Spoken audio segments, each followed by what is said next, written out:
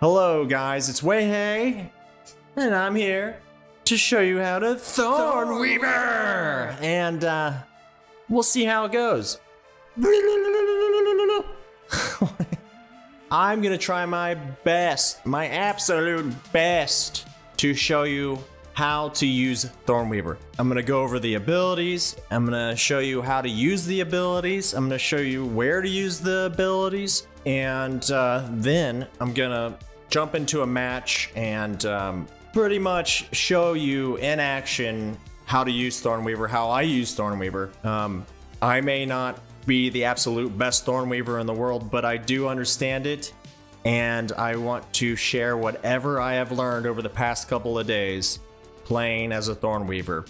I enjoy the Thornweaver, therefore I feel like I may be good enough to show you how to use it properly.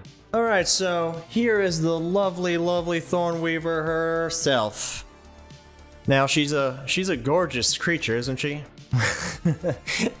she's definitely like I think the best looking character we have, but so the passive is the numbing retaliation, so upon taking direct damage, releases numbing projectiles towards a nearby enemy based on the number of charges stacked over time. So you'll see the little numbing um, stacks, and there's four, I believe. So you will numb people that attack you.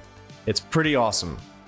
Uh, then you have the Verdant Bulwark is the power, so you enter, enter a defensive stance, reducing incoming damage. Pressing the power button again releases poisonous darts towards an enemy up to two times. So I'll show you how to do that. It's pretty awesome. And then Rage is just a stronger version of that, uh, but you can shoot unlimited darts. Can't really do it in free flight, which I'm going to show you, but I'll show you in the combat. So it also increases your your uh, movement speed as well, and your bulwark, uh, reducing damage. Um, normally, it actually the rage increases the damage reduction. It increases, and also to like to activate the bramble wall whenever you want, you can just click the bramble wall ability one more time. Whatever button you use to to activate it, you just click it again to make it go off. Otherwise, it will go off automatically when it hits something solid, like a wall or a rock or whatever, a ground. A ground. It'll hit a ground. One ground. But yeah, that's something I forgot to mention. So here we're gonna do Bramble Wall. Now I normally do Smoke Trail. Uh, but you know, Bramble Wall is new, so we're just gonna go with Bramble Wall. now, this is how you can use Bramble Wall. So you just fly up to you know an opening and you just shoot it right there, and uh, you can go through it. That closes it off for everybody else, though. It's pretty awesome. I'll be honest with you. Um, but yeah, you can just fly through it, and everybody else has to shoot through it. I couldn't really show you that in this free flight, but maybe on the, the combat I can. Now, I'm going to show you, you can also, for whatever reason, you can shoot a bramble wall right in the middle of nowhere. It's pretty cool. Um, I use it basically just to get away from people. Like, I'll shoot it right in front of me. But, like, a place like this, a cave entrance or an exit, is nasty. it's so great. I love doing this. I put two in there. Why not? They seem to last for a long time.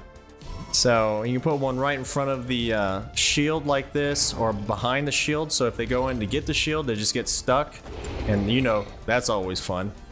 But yeah, you can get creative. Just get creative with it. Now here's the dart. So you activate it and then you shoot it. You see those little green arrows? Um, I'll show you again. See those two little green arrows? You shoot it. Two shots. And it poisons them, poisons them pretty well. And it does quite a bit of damage.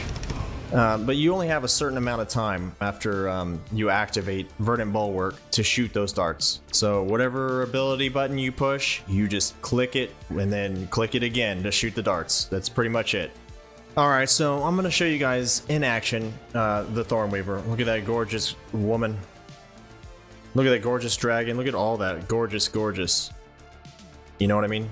So we're playing Spoils of War. It's not Gates of Fire, which is where I really excel at with Thornweaver. But I can still show you guys, you know. Still no big deal. Okay, so I'm activating my poison spikes just just by doing that. I click, click. They're getting poisoned right now. They might drop off. We'll see. Yep, it killed them. It does that a lot. Um, it does that a lot. Just kills them when they run off. And uh, you don't really think they're to die, but they do. It, it does a great amount of damage, honestly. I put a wall up behind me so that uh, you can see. I'll bring it back. There's the wall right there. I think it slowed him down. I had someone behind me, but uh, I could be wrong. Wow. So I'm gonna put a wall right here because there's someone behind me. And it does slow him down quite a bit. They're still in there. They might have just turned around, I'm not sure. But that's that's kind of where I like to put if I'm if I'm trying to get away, I use the the wall more when I'm trying to get away. Oh, okay, look at that. See that? I put the I, put the uh, the bramble wall right in front of his little place. He couldn't get in. That is hilarious. Okay, so note that. I've never done that before. That's pretty cool. Wow. They have 2,000. Oh my gosh. That was awesome. I gotta get as much money as I can. They had so much money and I just got a lot of it. I hope I don't die. Just picked up 397 gold. This is really good actually. I'm gonna put put all that back in the bank. We just we just want we just passed them up pretty quick. That was huge. That was a good play. Alright, I'm gonna hit them with uh, spikes.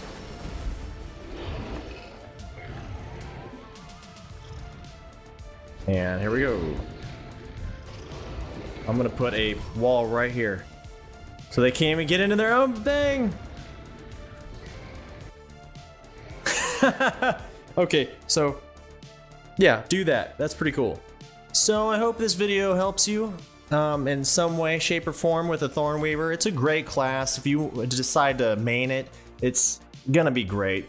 You can't go wrong with a Thornweaver.